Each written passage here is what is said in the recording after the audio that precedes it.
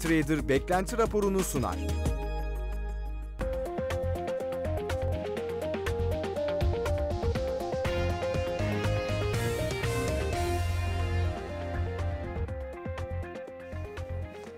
Haftanın son işlem gününde Beklenti Raporu programından herkese merhaba. Ben Cenker Karakadılar. Bundan sonra hafta içi her gün saat 8.30'da Beklenti Raporu programında da beraber olacağız. E, Bugün sizin e, için hazırladığımız e, haber başlıklarına bakmadan önce piyasalarda yurt dışında özellikle uzak doğuda başlayan negatif seyir devam ediyor ve Avrupa borsalarına da sirayet etmiş durumda. E, baskılanmaya devam ediyorlar. Özellikle emtia piyasasındaki düşüş uzak doğu borsalarında e, etken olduğu söyleniyor. Covid-19 varyantının ve buna bağlı olarak kapanmalardan kaynaklanacak büyüme etkilerinin e, ne yönde e, yurt dışı piyasaları etkileyeceğini hep beraber önümüzdeki günlerde izleyeceğiz. E, öncelikle isterseniz sizin için hazırladığımız haber başlıklarına bir göz atalım. Cumhurbaşkanı Recep Tayyip Erdoğan kabine toplantısı sonrasında açıklamalarda bulundu.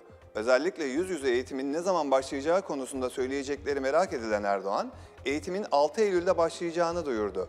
Erdoğan, yüz yüze eğitimle ilgili olarak okullarda 6 Eylül'de yüz yüze eğitimin başlaması vesilesiyle öğrencilerle irtibatlı öğretmen ve personelden düzenli PCR testi isteyeceğiz. Aşı olmayan üniversite öğrencilerinden ve personelden düzenli olarak haftada iki kez PCR testi talep edeceğiz diye konuştu. Ee, Bir önceki haftada 109 milyar doları aşarak 39 ayın zirvesine çıkan Merkez Bankası'nın toplam rezervleri geçen hafta 2 milyar dolarlık düşüşle 107 milyar 99 milyon dolara ger- geriledi. Verilere göre geçtiğimiz hafta 67 milyar 736 milyon dolar olan rezervler 13 Ağustos ile sona eren haftada 380 milyon dolar düşüş, düşüş gösterdi ve 67 milyar 356 milyon dolara geldi. Altın rezervleri ise 41 milyar 275 milyon dolardan 39 milyar 743 milyon dolar seviyesine geldi. Böylece Merkez Bankası toplam rezervleri 109 milyar 10 milyon dolardan 107 milyar 99 milyar milyon sevi- e, dolar seviyesine geldi. E, Bankacılık Düzenleme ve Denet- Denetleme Kurulu, dijital bankacılıkta standartları belirleyen dijital bankaların faaliyet esasları ile servis modeli bankacılığı hakkında yönetmelik taslağını resmi internet sitesinde yayımlayarak görüşünü açtı. Bu kapsamda dijital bankaların müşterileri yalnızca finansal tüketicilerden ve KOBİ'lerden oluşabilecek. Dijital bankalar ana merkez ile ana merkezin bağlı hizmet birimleri dışında teşkilatlanmaya gidemeyecek ve fiziksel şube açamayacak. Dijital bankaların müşteri şikayetlerini ele almak üzere en az bir fiziksel ofis kurması sorumlu olacak. Müşteri şikayetlerini ele almak amacıyla oluşturulacak birimler bu amaç dışında bir şube gibi kullanılmayacak. Dijital bankalar KOBİ boyutunu aşan ticari bankacılık faaliyet kollarında faaliyet göstermeyecek. E, Diğer taraftan ABD işsizlik e, maaş başvurularında rekor düşüş yaşandı. E, Başvurular ard arda 4 hafta düşüş yaşandıktan sonra 348 bin ile salgın döneminin en düşük seviyesine geriledi. ABD Başkanı Joe Biden verilere ilişkin değerlendirmesinde işsizlik maaşı başvurularının gelişmeyi gösterdiğine vurgu yaptı. FED politika yapıcılarının bir kısmı istihdam piyasasındaki iyileşmenin varlık alımı azaltımı için kritik öneme sahip olduğunu vurgulamışlardı.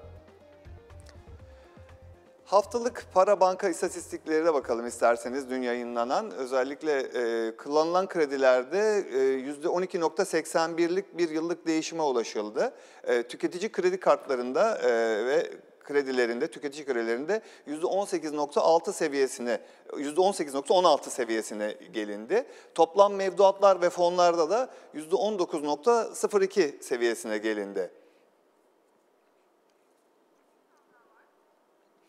Diğer taraftan yurt içinde yerleşiklerin bankalardaki mevduatlarına baktığımızda da orada e, 1 milyar 739 milyar e, dolarlık bir artış e, vardı TL olarak. E, yabancı para mevduatlarda da 232 milyar e, 232 milyon dolarlık bir artış söz konusuydu. Toplam içindeki payı e, %53.36 halen yüksek seviyelerde geziyor. %55 bandına kadar gelebiliyor. E, geçtiğimiz aylarda %50-55 bandında genelde oynuyor. Ters dolarizasyonun başlaması için tabii e, bunun daha düşük seviyelere inmesi gerekiyor.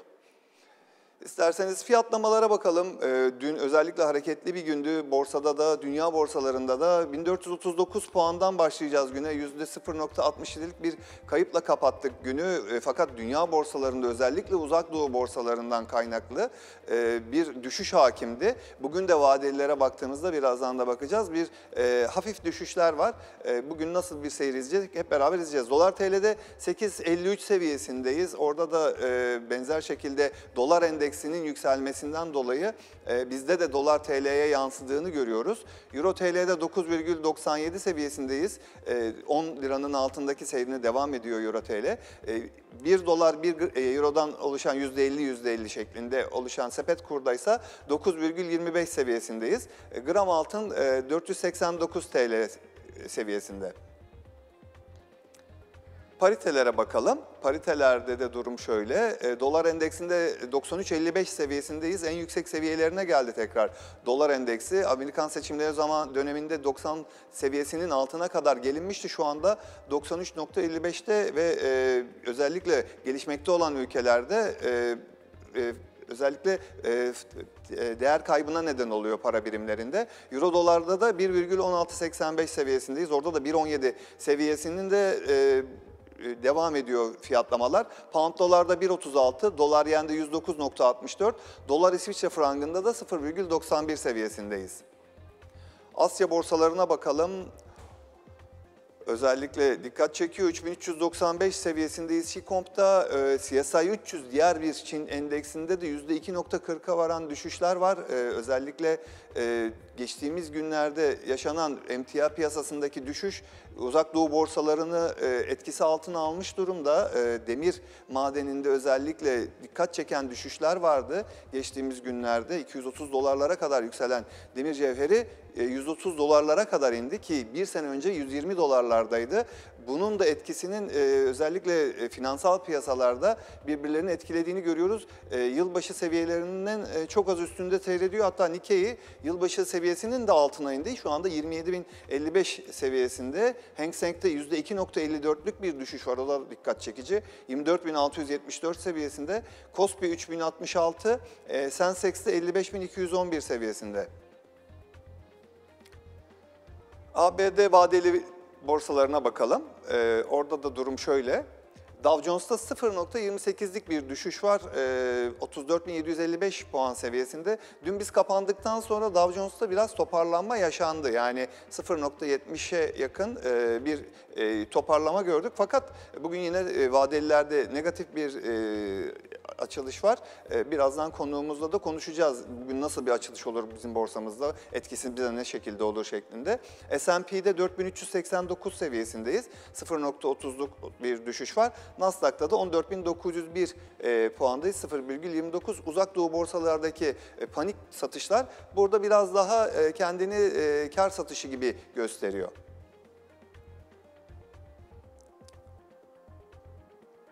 Ee, diğer taraftan tahvil faizlerinde ise durum e, şöyle. ABD 2 yıllıklarda 0,226 seviyesindeyiz. 10 yıllıkta 1,235 %0.88'lik bir düşüş var. Ee, burada da işte önümüzdeki dönemde tapering nasıl bir şekil verecek izleyeceğiz. ABD 30 yıllıklarda 1,862 seviyesindeyiz.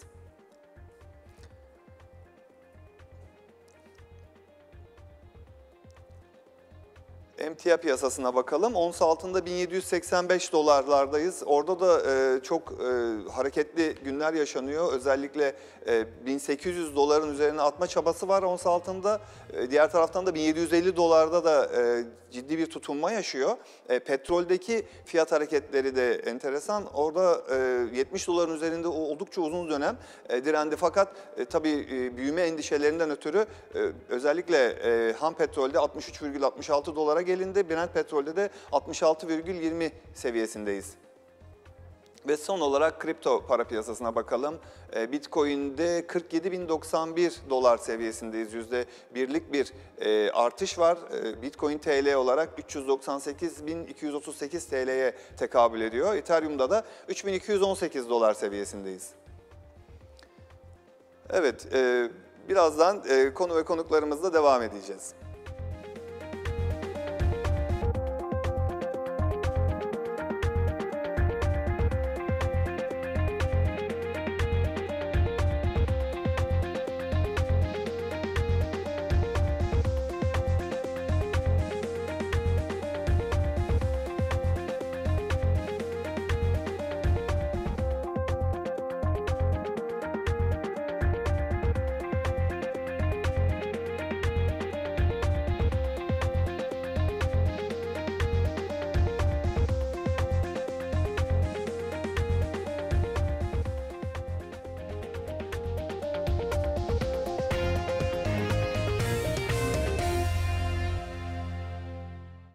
Evet programımıza kaldığımız yerden devam ediyoruz ve karşımızda Ahlatçı Yatırım Hazine Müdürü Arda Coşar. Arda Bey merhaba. Merhaba, iyi yayınlar dilerim. Teşekkür ederim Arda Bey. Ee, Arda Bey e, piyasalar karıştı. Özellikle uzak doğu borsalarda gördüğümüz kadarıyla sert düşüşler hakim.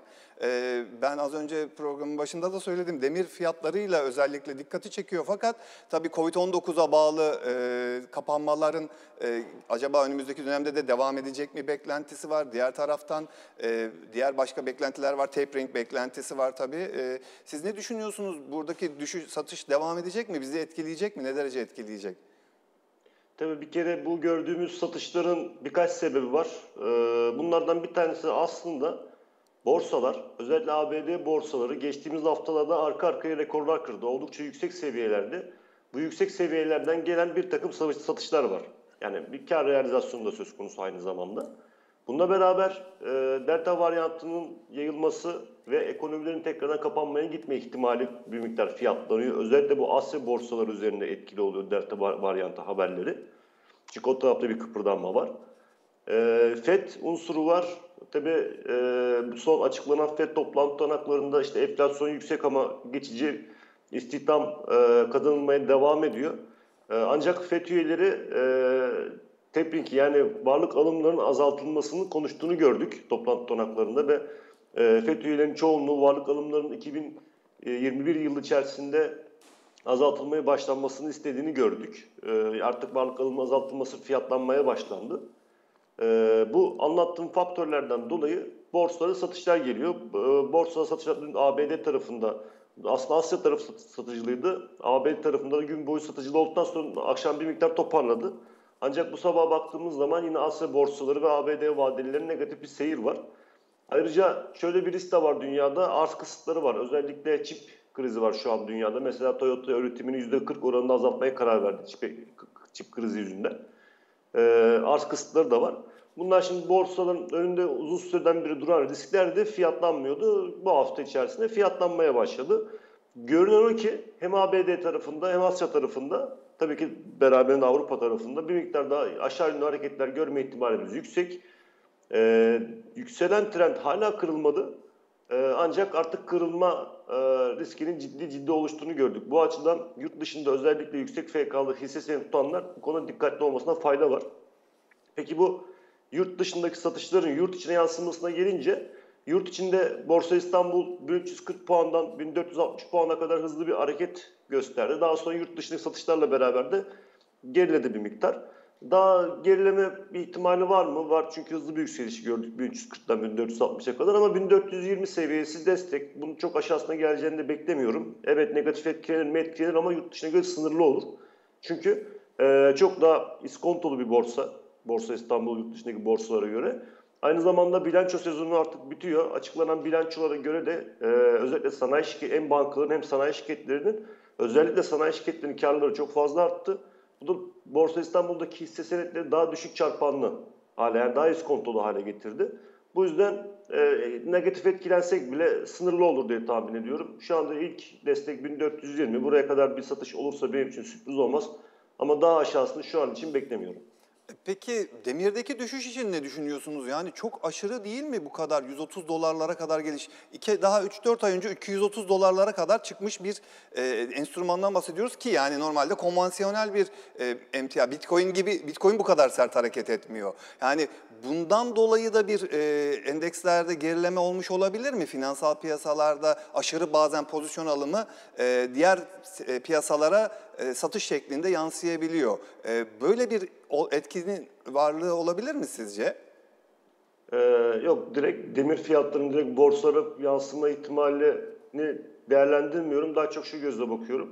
Emtiaların hepsi önce 2020 yılında daha sonra 2021 yılında rekor kırdı. Yani bakırdan tutun demire kadar, petrole kadar, e, sanayi emtia, gümüşe kadar sanayi emtiaları e, 2020 yılında da 2021 yılında da rekor üstüne rekor kırdı. Bunun sebebi dünyada hizmet sektörü geriye giderken buna mukabil imalat sektörü yukarı gitti. Yani imalat sektörü büyüdü. Ee, bunu PMI'lerden gördük. 60'ların üzerinde de imalat PMI'leri gördük. 60'ın üzerinde imalat PMI'leri tabii ki emtia fiyatlarını yukarı doğru destekler. Ancak e, emtialarda yükseldiği yerlerden e, satışlar geldi. Ayrıca dünya ekonomisi artık e, dengeleniyor. E, yani hizmet sektörü düşük vaziyetteyken, gerilerken, PMI verisi düşükken, e, imalat PMI verisi çok yüksekti. O artık bir miktar dengeleniyor. Bu da e, emtia fiyatlarını o yüksek seviyelerden aşağı doğru çekmesi mümkün. Bu borsaları etkiler mi? Etkiler ama direkt demir fiyatlarının e, borsayı etkilemesini beklemiyorum. Bakır'da da buna benzer bir hareket olmuştu. Tabii Bakır'daki hareket bu kadar sert değildi ama o da zirvesinden gerilemişti. E, emtia fiyatları zirvelerinden geriliyor. Demir de bunun dahil. Zaten çok yükselmişti fiyatı. Şikayetler de vardı. E, inşaatçılardan özellikle. E, ama demir fiyatlarının düşmesini direkt borsalarla e, ilintili olduğunu düşünmüyorum. E, dolar TL'de de endekse paralel bir hareketlilik görünüyor. Yani 8.53 seviyesinde hafif bir yükseliş yaşandı. E, olması gerektiği şekilde bir korelasyon. E, peki e, sizce dün açıklanan PPK e, tutanaklarında da e, enflasyon vurgusu öne çıkıyordu. Yani önümüzdeki dönemde enflasyon hedefi de tutturulursa ki genelde konuklarımızın görüşleri 16 seviyesi e, piyasanın esasında e, şey yapabileceği, kaldırabileceği fiyat şu andaki fiyatlamalara pozitif yönde tesir edebileceği bir seviye gibi e, addediliyor. Siz o görüşe katılıyor musunuz? Yani enflasyonda bir e, düşüş yaşanabilir mi önümüzdeki günlerde ve fiyatlar etkisi ne yönde olur? Yani baz etkisinden dolayı sınırlı bir düşüş yaşanabilir. Şöyle ki Mart ayından önceki beklentilerde yıl sonu enflasyon oranı %12'ler, 13'ler civarındaydı. Daha sonra tabii Merkez Bankası görev değişikliğinden sonra dolar TL'de hareketlenme oldu. Yurt dışında e, gıda fiyat emtialar ve özellikle gıda fiyatlarında küresel bazda yukarı yönlü hareketler gördük. Bu da e, enflasyon beklentileri yukarı doğru çekti. İşte şu anda %16'lar civarında e, sene sonu bekleyen var. %17'ler hatta %19 bile bekleyen var. Ama %16-17 mertebesini e, olabilir olarak e, görüyorum.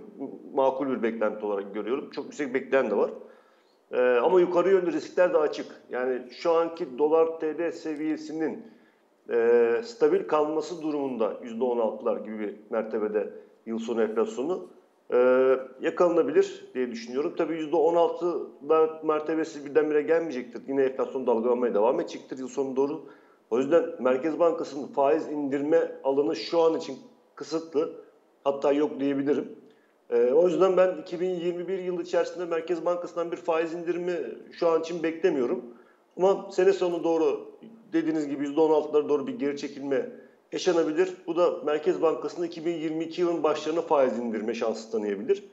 Ee, bunun dışında yani %16 rakamı makul hatta biraz da iyimser bir rakam. Yukarı yönlü riskler de açık.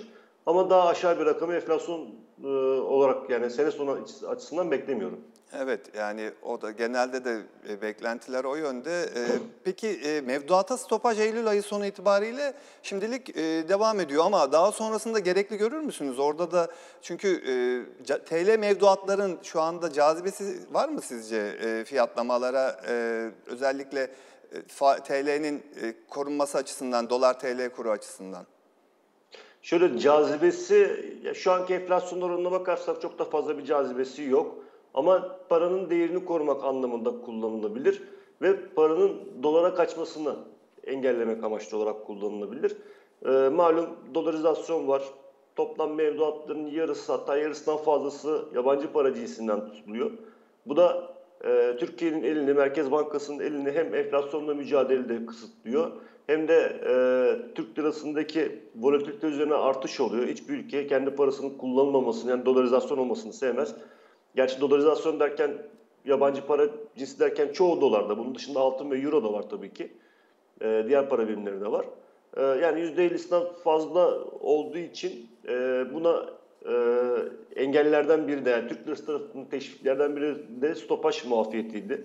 Türk lirası mevduatlara uzun zamandan beri uygulanıyor ve uzatılıyor. Ben Eylül ayından sonra yine uzatılır diye düşünüyorum. Şu anda e, yani enflasyon oranında gerileme görmeden e, stopaj, Türk TL stopajlarında bir geri çekilme beklemiyorum. TL stopajlarındaki muafiyetin devamını bekliyorum. Bence Eylül'den sonra da bunu uzatırlar. Sene sonuna kadar uzatma ihtimalleri yüksek diye düşünüyorum.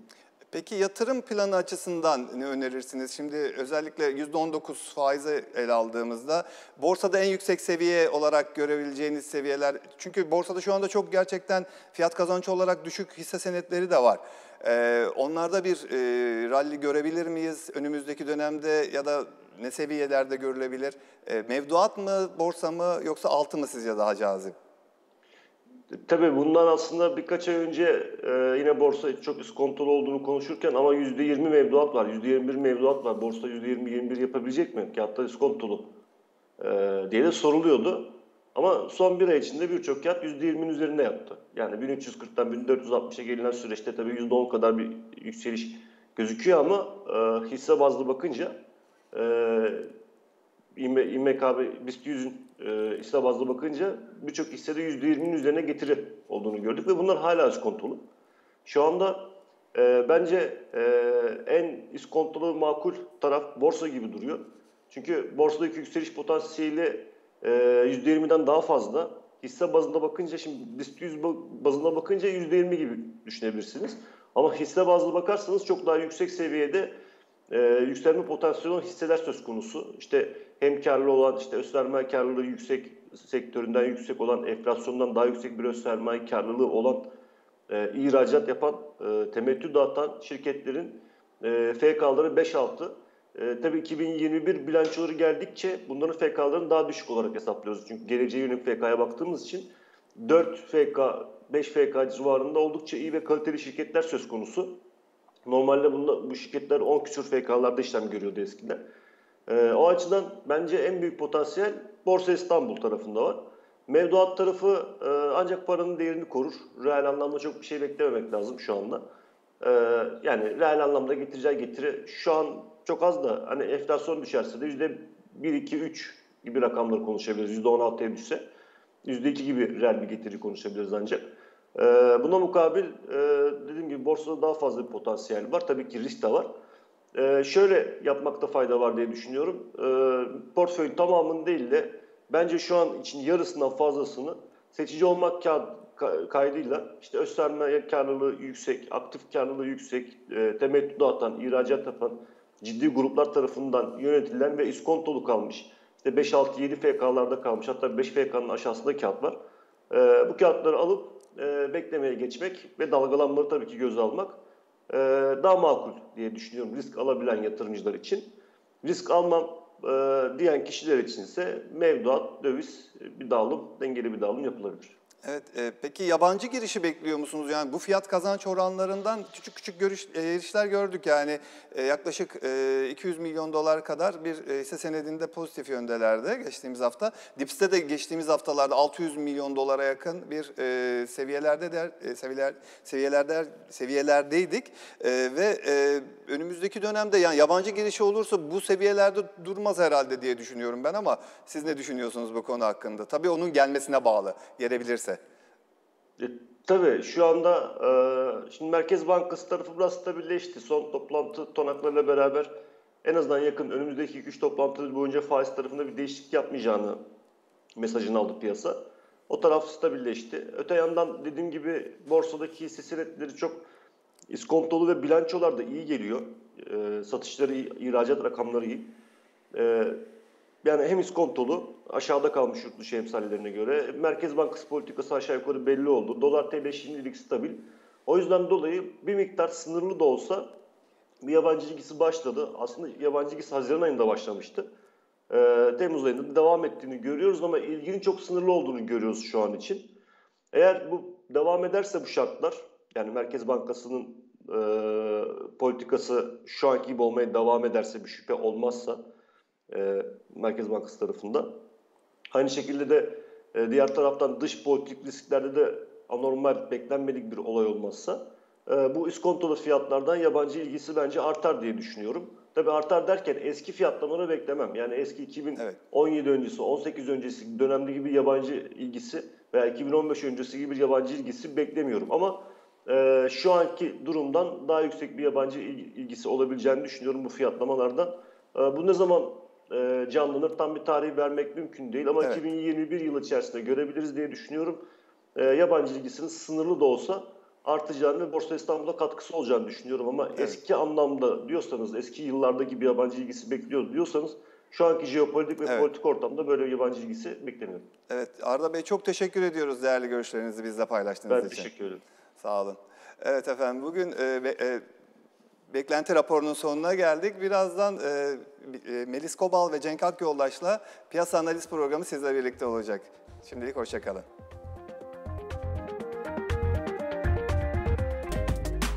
AHL Trader beklenti raporunu sundu.